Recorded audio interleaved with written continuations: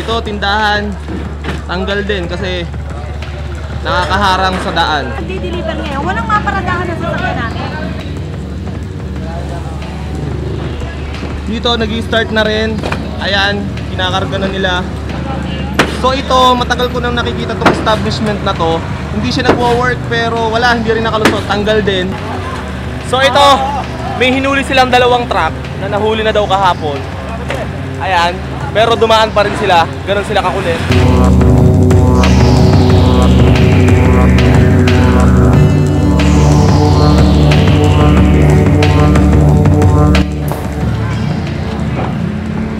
Sabi ni Pangulong Duterte, bibigyan hanggang Setyembre ang lahat ng lokal na opisyales o LGU para sa kanyang binabang ah, clearing operation at ah, pwedeng ah, imbestigahan ng DILG ang mga ilang ah, lokal na gobyerno na hindi susunod sa kanyang batas at hindi siya magdadalawang isip na pirmahan ang suspension kapag ka hindi sumunod ang mga ito. Kaya tingnan natin kung sumusunod ang Kabuyao City. Let's go!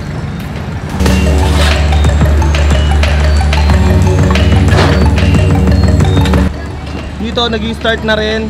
Ayan, kinakarga na nila yung ah, lupa mga katagumpay. Successful to. Ayos na ayos yun ah. Okay. Ayos na ah. So dito sa parte ng Kabuya mga katagumpay, kung makikita nyo, ah, yung mga nakakasagabal sa daan, ayan tulad nito. Kaya lang sayang yung mga puno pero wala tayong magagawa. Yun ay ah, batas at sumusunod lamang ang Kabuyao City. Kung makikita nyo, wala silang ah, pinapalampas, wala silang sino-sino. Basta lahat tayo ay susunod sa batas ni Pangulong Duterte. Okay? Check natin yung mga iba pang lugar na aaksyonan nila. Let's go. So kasama natin ngayon ang isa sa magiting na naglilingkod dito sa Cabuyao, Laguna, ang head ng Environmental Police na si Sir Erwin Buwan. Sir, salamat po. Good morning. Good morning po. Kailan Good po morning. nag-start sir ang ating ah, clearing operation dito sa Cabuyao? Actually, day 5 or 6 na yata ngayon, ano? Day 5 or day 6, Oo. okay? Um, actually, marami talaga ang ano ang natutuwa sa Opo. ginagawang ah, clearing operation na to. Pero alam naman natin na hindi naman lahat ay makukuha sa ginagawa natin. Pagkat marami tayong nasasagasaan. Pero ito naman ay alam ko na napakalaking tulong sa kabuhay nyo kasi magiging maluwag yung ating mga kakalsadahan. Opo. Ah, nakita naman natin ngayon kung paano ang ginagawa. Pero ito ay kung sinasabi na 60 days lang to, pero ang ah, balak ng mayor dito ay ah, habang siya'y nakaupo ay magkakaroon ng task force klaro. Okay. So para tuloy-tuloy po Tuloy-tuloy po ang Okay. ating ang, ang ating ah, ah, hindi man maperfecto, pero alam ko na magiging tuloy-tuloy ang programang ito sa pamumuno ng ating ah, butihing Mayor Mel Nicolia.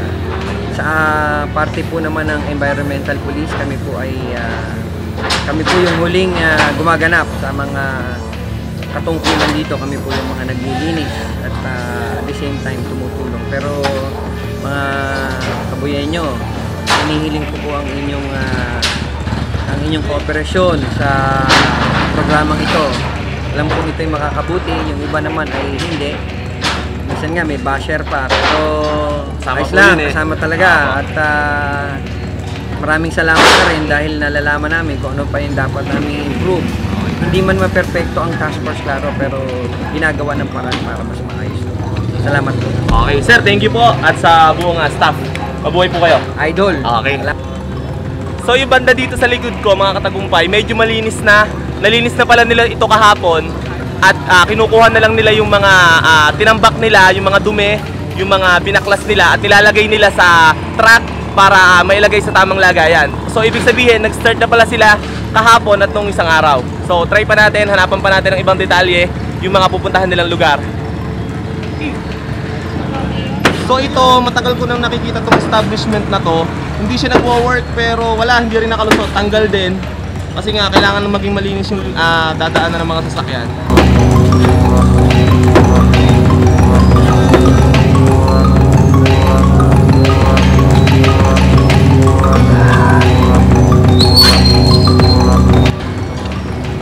Dito pa lang sa side na to, ayan, papunta dito, ganitong karami na yung natanggal nila. So, ibig sabihin, mga ilang hakot pa ng ah, truck sa bawat lugar ang mga ilalagay nila dito. Ayan, ganyan kadami. Ayan, halos mabubuto na itong isa. Sa mga puno pa lang, kulang na. Kasama din nila ang ilang mga police marshals para kung may mangilan-ngilan na mga hindi makatanggap ay ah, pwede nilang paliwanagan at um, mahupa nila yung tensyon at mapaliwanagan nila ng ayos. So maganda yung may mga ilang pulis, ayan, mga ilang pulis din tayo na kasama dito na nakadestino sa Kabuyaw. Magandang bagay yun. Peace. So dumating na rin ang Rescue 911 na natin. So ito si Sir Rudy.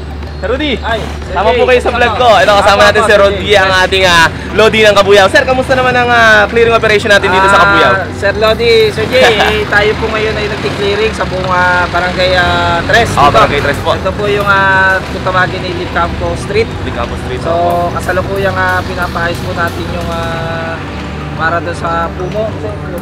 Pamputol, sir. Pamputol, Oh, ito eh. pala yung pamputol gagamitin nila.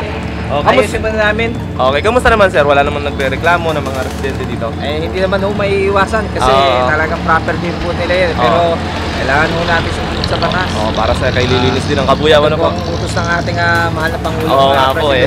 Opo. At syempre, sa pangunguna ng ating City Mayor Romel Aranzazo. Ah, okay. Sir Lodi, idol. Sir, thank Okay, you po. thank you, thank you, thank you. Okay, salamat Okay. po. Dito, malinis na rin. So ito, may hinuli silang dalawang truck na nahuli na daw kahapon. Ayan. Pero dumaan pa rin sila. Ganun sila kakulit. So huli, dadagdagan yung violation nila. Okay, pinalampas muna sila dahil ah, magka-traffic dito. Alright. Di ko alam kung kaninong mga truck tong mga to, pero dahil makulit sila, dadagdagan yung violation nila. Okay, ganun kahigpit dito sa Cabuyao City. Dapat sa mamatit ka dapat. Ano sir? Mamatit ka kaya tinitikitan sila. Sa Mabati dapat Oo, dumaan. Mga ganyan, mamatit kaya tinitikitan. Okay. Natikita na daw po kahapon eh. Oo, kaya nga. Eh dumaan na naman daw po ngayon. Dadagdagan daw po yung violation. Oo, natagtagan mo yun. Okay. Wala tayong magagawa, ganun talaga. Okay?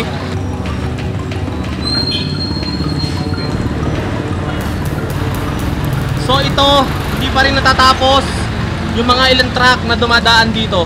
Nabigyan na sila daw ng violation kahapon pero dumaan pa rin sila dito. Ayan, kung makikita nyo eh, mga truck na yan. Ayan, hindi namin alam kung kanino yung mga truck na yan. Pero dahil makukulit sila, wala tayong magagawa. Yun ang batas. Okay? Yun ang batas. Sumusunod lang tayo lahat. Walang personalan.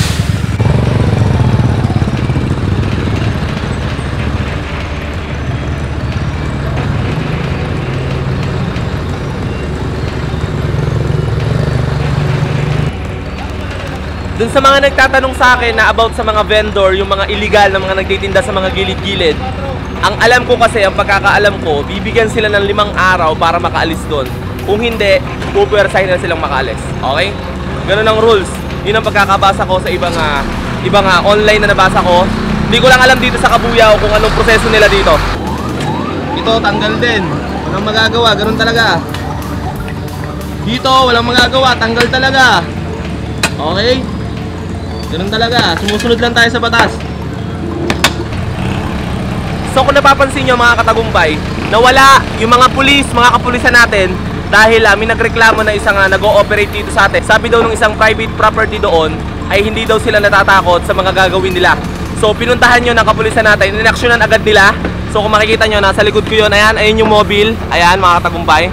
Ayan kung mapapansin nyo, ayun yung mobile. So inaksyonan agad nila, pinuntahan agad nung uh, dalawang uh, kapulisan natin. So ganun dito sa Kabuyao, action agad. Peace! Nagdi-deliver ngayon, walang maparadahan na sasakyan namin.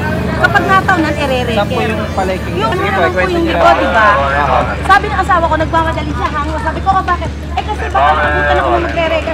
Sabi ko, eh paano ka ako makakapag-parada nang dapat, ito dapat na ako eh. Para ka ako, pag mag- mag-deliver ng ano, diyan talaga papasok. Diba itatanong So mo, syempre, importante rin yung mahingi natin yung ah, ah, opinion ng mga ilang residente natin dito sa Kabuyao. Nay, ano pong masasabi nyo sa ginagawa nilang clearing operation? Ano pong opinion nyo? Okay po ba or ano po?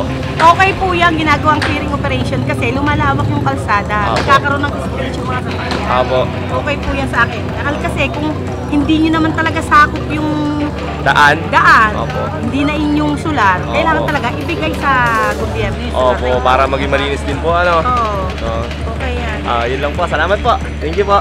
Tingnan nyo ako dun kay Mayor. Ako po, ah. may rights po naman dyan. Hindi ah. So sasabihin ko sa inyo mga katagumpay kung paano ang ginagawa nila. So ganun pala, mula dun sa Bangbang, pinakakanal, hanggang sa pri- private property, 1.5 meters, kailangan hanggang dun lang. So yung mga lalampas, tulad nito, ayan, ito yung daan, yung lalampas, gigibay na. Okay? Ganun talaga. Ito, tindahan, tanggal din kasi nakakaharang sa daan. Giniba din nila, okay? Ayan. Sama natin ngayon si ah, Kuya Lito, ang ating uh, head ng ah, traffic enforcer dito sa Kabuyaw. Sir, kamusta naman po yung ah, ah, traffic natin? Nasimulan po natin yung ah, clearing operation dito sa Kabuyaw. Nabawasan po ba o lalong nadagdagan? Kamusta po? Ah, lumuwag naman tayo sa, Ah, sa yung sitwasyon ngayon ng traffic natin. Lumuwag tayo yung karsadahan Apo. ay nagamit na ng ating mamamayan at ng ating motorista. Ano, Mas kaya tayo po'y ah, patuloy na nagki-clearing. Alang-alang ibigay natin ang karsada sa mamamayan at nan tayo magluwag pare-pare. Okay. Sir, thank you po. Salamat Okay. Sir Lito, Cebu. Alright. Peace. Apo. Nay kayo po, ano po bang komento nyo? Pwede ko po bang mahingan ng, ah, ng opinion po para ano po tayo, neutral? Kamusta po ba? Okay lang yan. Okay lang. Sabado namin ito namin. Ito pa yung Sabado kasi. Apo. Ito, ito. Ah, sila na po ang ano po dyan.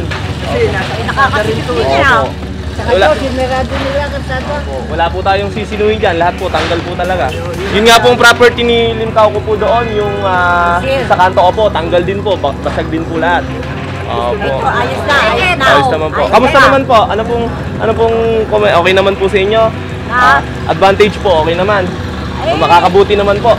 Ay, oo, kung makakaganda nga eh. Kaya nga lang kami masisip na sa loob. Oh, yun nga lang po ano. Medyo masakit nga lang na doon yung Masakit, dating property, oo. opo. Ay, sa Sabado pa namin patatanggal. Opo, At ang sige anak ko nasa munisipyo di bakasyon. Ah, bakasyon Ay, maraming po. laman, may aso. Baka Ah. kung kayo Opo. ninyo, Okay maraming po. aso sa loob. Salamat po. Okay po. Meron tayong tinatawag na Highway Act or ah, lahat ng obstruction na nakakasagabal ay tatanggalin tulad ng ah, mga illegal vendors at yung mga billboards or signage na tulad nito na nakakasagabal sa daan ay tatanggalin din. Okay? Siguro ito ay ilalagay sa tama or ah, i-rebuild ng bago, iusod ng kaunti. Okay? Sabi nga sa inyo, mula doon sa kanal, yung ah, yung kanal na pribado, ay yung kanal na pinagawa ng ah, mga gobyerno, mula doon sa kanal, 1.5 meters hanggang doon sa private property. So yung sumobra, yun ang babaklasin ng ating gobyerno. So ah, ang nakikita ko dito mga katagumpay ay ah, yung ibang ah, mamamayan natin, hindi nila matanggap tulad ng mga ilang property nila na dati na nilang ah, dati na nilang naitayo pero wala silang magagawa eh. Ganun talaga. Meron talagang prosesong ah, sinusunod.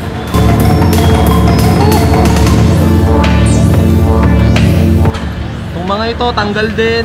Ayan, mga signage, ayan, tanggal din yan lahat. so kasama natin ngayon ang ating task force chief, si Sir Tucson. Sir, kamusta naman po yung clearing operation po natin dito sa Kabuyaw? Okay naman, tuloy-tuloy tayo. Kahit Okay. nahirapan mga kasama natin. Okay. High spirit sila dahil sa all out support ng ating mayor. Okay po. Magandang feedback Okay. na na- nakukuha natin sa mga mamamayan. Okay, kamusta naman sir yung mga ah, mamamayan natin? Yung mga ilan-ilan po bang nagre-reklamo or na, na ano naman, naayos naman? Ine-expect natin yan kung yung mga apektado ay nagre-reklamo talaga sila. Opo. Pero mabuti na lang, may prior uh, announcement ng ating presidente. Parang uh, softening of the ground. Opo. Kaya tanggap din nila yung uh, Ginagawang operation. gin- ginagawa ng mga uh, sama natin. Okay. Si Sir Tucson, sir, thank you po. Salamat po sa inyo. Okay po. so ganitong karaming bato na yung natatanggal nila mga katagumpay kung makikita nyo. Ayan. So isang street pa lang yan mga tolls. Ganito ng karami. So kasama natin yung isa naglilinis sa atin sa Environmental Police. Tol, ano pangalan mo? Richard. Oh, sir, kamusta naman Richard? Okay lang. naman. Mahirap ba? Ha? Okay lang. Okay lang? Kayang-kaya? Uminom ka yata ng Enervon eh. Ha? Enervon? Nawalan yata ng gasolina pero hindi towing mga katagumpay. Okay? Tulong-tulong. Tulong-tulong ang ating uh, CTMO. Peace! So itong nakikita nyo sa likod ko, Samgyup Grill House. Hindi to kasama sa clearing operation. Sinama ko lang. Wala lang, mapansin lang. Hey.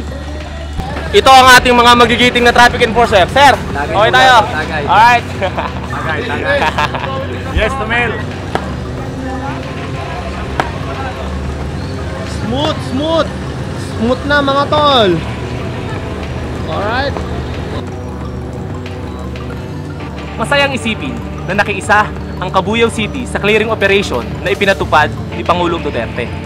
Saludo din ako sa lahat ng opisyales ng gobyerno at mamamayan na nakiisa dito. Lalong-lalo na kay Mayor Mel na isa rin sa dahilan kung bakit napatupad ito. Maraming maraming salamat sa pagsama mga katagumpay. This is your man, JTB again. Hingang malalim and peace out. Hey!